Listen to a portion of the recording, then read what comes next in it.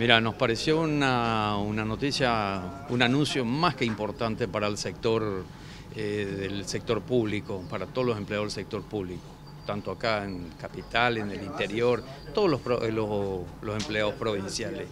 Como siempre decimos, esto mejora sustancialmente la economía de las familias, mejora lo que es la economía, el consumo en la ciudad de Formosa, se dinamiza la economía, como siempre decimos, y bueno, sabemos cómo vienen con los, fíjate vos ahora en los anuncios del índice de alimentos, eso han caído eh, fuertemente, y eso nos marca en la situación que están nuestros empleados también. Pero bueno, tenemos un gobierno que sensible con las necesidades de sus empleados, de toda la planta de lo que es del planta de, de la administración pública provincial y a nosotros como comerciantes, como industriales y para la venta de productos nos viene bien. Eh, sabemos de la situación que están atravesando, lo que es la incidencia de las facturas de luz, las facturas de agua, de servicio, no son nada baratos y se vienen disparando más que nada la, de energía. Eh, así que me parece un, anuncio muy oportuno. Usted habló de la energía. Desde Nación anunciaron, y bueno, Formosa ya lo advertía, que va a faltar energía durante el verano fundamentalmente.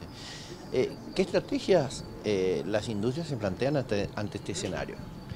La verdad que estamos conversando en esa situación que ya lo han anunciado y nos pone una situación complicada. Tenemos también proveedores acá en el interior provincial que sufren el tema de los cortes y, más que de los cortes la incidencia en, la factura de los servicios porque el impacto del, por ejemplo, en Foresto Industria es directo, tanto el combustible como energía son a costo directo y eso incide en el costo de nuestros productos, de lo que nosotros no abastecemos, ¿no es cierto?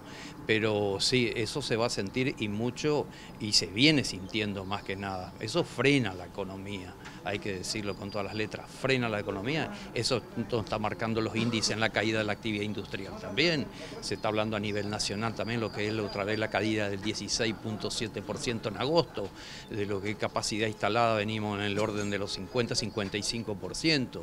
Eh, bueno, no son nada alentadores en el, para el futuro el panorama es sombrío.